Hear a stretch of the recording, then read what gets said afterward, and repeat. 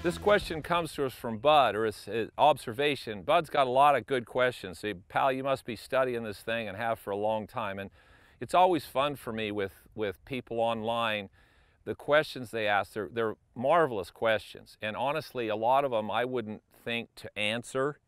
So your questions are really important uh, because it helps me to understand where all of you are relative to what you think a swing is. And so then uh, it gives me a lot of opportunity to come back and answer the questions that you really are questioning. I mean, I can give you the information, but the more I know what you're confused with or what you hear that you don't understand, the easier it is for me to explain it to you. So Bud's got a lot of really good questions. And this is actually a good comment, and you're right, Bud, but you're wrong. So it's one of those yes and no. So Bud says that when he swings, he seems to hit the ball better when he tries to keep his hands and arms like this in sync with his upper body. See, for a long time they used the word connected. Now, I don't mind the word, but I hate the way people tried to do it. So put towels under your arms and try to swing like that creates a lot of tension. So buds, here's what I will tell you. When I swing, I don't try to make my body, make my arms stay in sync like this. What I'm doing is, as the weight of the club swings, I'm letting my body rotate and stay, my center stay in sync with the club that's going through me.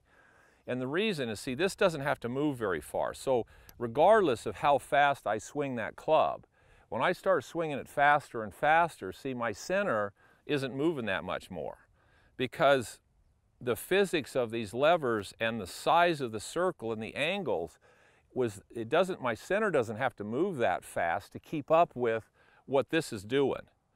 So what I'm trying to do is I feel and understand where the weight of that is. And I'm letting my body rotate with the momentum of the club. Now, what you're saying where you go back and you try to get your arms to rotate with your center, and you're trying to keep your center to make your arms do this, is an observation, fine. But that creates tension. So what I would rather you do is try to get a feel for the weight and the momentum of the club. And as the momentum of the club's going, just let your body go with it. It's really interesting. If I have anybody take a, a weight, a basket off a shelf that's heavy, and they swing it and they have to put it over here, okay, they you go right with it. So your arms are just swinging, your body just kind of, I've never seen anybody go and then pull their arms or make their arms go and their body go. See, if I move my arms, whatever speed I move my arms, what does my center want to do? It kind of stays with them. If you start trying to force those things to happen, you can get tension. So right from right here to right there, yeah, I feel like I'm fairly connected, if you want to say that.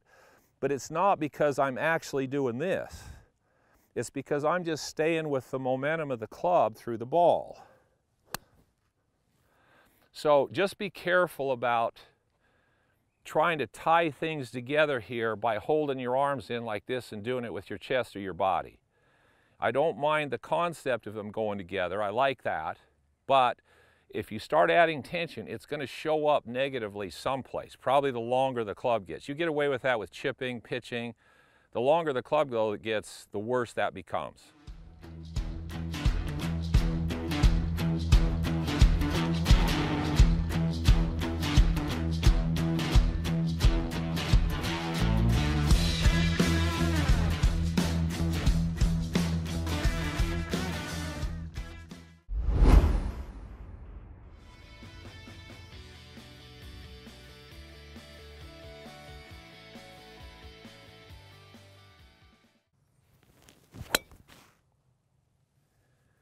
Be sure to subscribe to my channel for regular updates and tips. Thanks for watching.